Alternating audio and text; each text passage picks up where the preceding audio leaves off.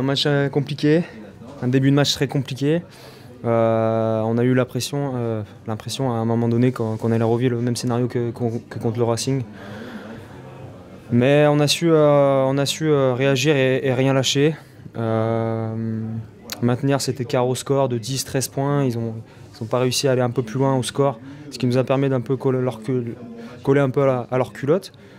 Et puis, euh, et puis voilà, une belle réaction en deuxième mi-temps, on monte un bel état d'esprit, on lâche rien, on presse fort en défense. Et quand tu presses fort en défense, bah, tu as, des coups du sort, tu as des rebonds favorables. Et c'est ce qui s'est passé. Donc, euh, donc voilà, on va se, on va surtout souligner l'état d'esprit qu'on a pu mettre, euh, la réaction qu'on a pu mettre en deuxième mi-temps, le fait qu'on lâche rien et puis, et puis cette belle victoire. C'est complètement dingue la, fin. Ah ouais, c'est, euh, en plus c'est, deux essais presque identiques. Hein. T'as l'impression qu'en fait ils ont appuyé sur un bouton et qu'on revenait en arrière.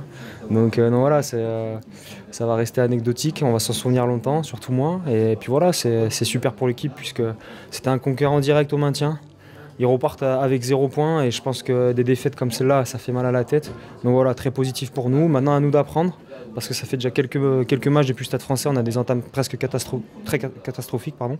Donc voilà, à nous de travailler là-dessus pour ne pas avoir à revivre des scénarios comme ça.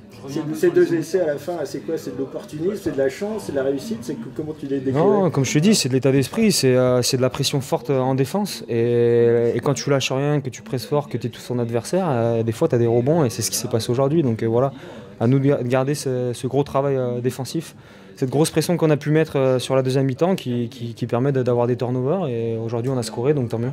Sur la première période, euh, le début vous marquez l'essai puis après vous faites des fautes bêtes, on a repris devant, euh, un intérieur sur un layer, vous avez mis en confiance Ouais, on, fait on fait une belle, enfin, on fait 5-10 bonnes minutes et puis derrière ils nous ont pris comme, comme le Racing, c'est-à-dire qu'ils nous ont resserré sur les premiers temps de jeu et puis après ils sont allés nous chercher au large.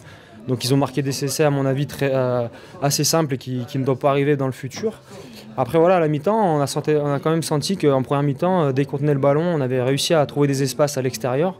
Ça a été des fautes de main qui, qui malheureusement nous, nous, nous, nous permettait pas de, scorer, mais, euh, mais voilà, on savait que la stratégie en deuxième mi-temps, c'était pas de leur redonner, leur redonner le ballon, mais surtout le conserver et à essayer d'aller chercher les couloirs et, et, un peu à jouer un peu comme, comme eux ils nous ont joué, c'est-à-dire les resserrer sur les premiers temps de jeu, puis aller chercher les couloirs derrière. Et ça, ça nous a plutôt réussi de, de tenir le ballon en deuxième mi-temps. Tu l'as un peu évoqué, c'est une énorme opération dans la course au maintien, vous en prenez 4, ils en prennent 0, vous revenez un scénario incroyable. Ouais, non, ce soir c'est très positif. Franchement, 0 euh, pour Pau, 4 pour Brive. Après voilà, comme je l'ai dit, on doit travailler sur ces entames qui sont, qui sont difficiles depuis, euh, depuis trois matchs, depuis le Stade français. Donc voilà, c'est très bon pour, euh, pour la suite, pour notre objectif, mais voilà, on a encore du pain sur la planche, la saison n'est pas terminée. Euh, la prochaine réception c'est contre Agen, donc voilà, on risque de revivre un match tendu comme on a pu le vivre ce soir. 0 pour Castres aussi sur son terrain contre Racing Ouais, c'est important de, de regarder ce, que, ce que peuvent faire les autres, après il faut surtout se concentrer sur nous. je crois que par le passé, on regardait peut-être un peu trop ce que faisaient les autres et puis on en oubliait on oubliait euh, notre jeu, on oubliait de progresser, on oubliait notre, notre objectif. Donc, euh, bien sûr, c'est toujours bien de, de un peu ce que font les adversaires, les concurrents directs au maintien, mais on va surtout rester concentré sur nous. Et puis, euh, on sait qu'on a un objectif de maintien, on a un objectif au niveau de notre jeu. On, veut progresser, on veut, envoyer du jeu, on veut, voilà, on veut sur pas mal de secteurs. Donc, voilà, à nous de rester concentrés sur nous et puis continuer à travailler jusqu'au bout parce que la saison n'est pas terminée. Sur la, mêlée, ce qui permet peut-être de un petit peu la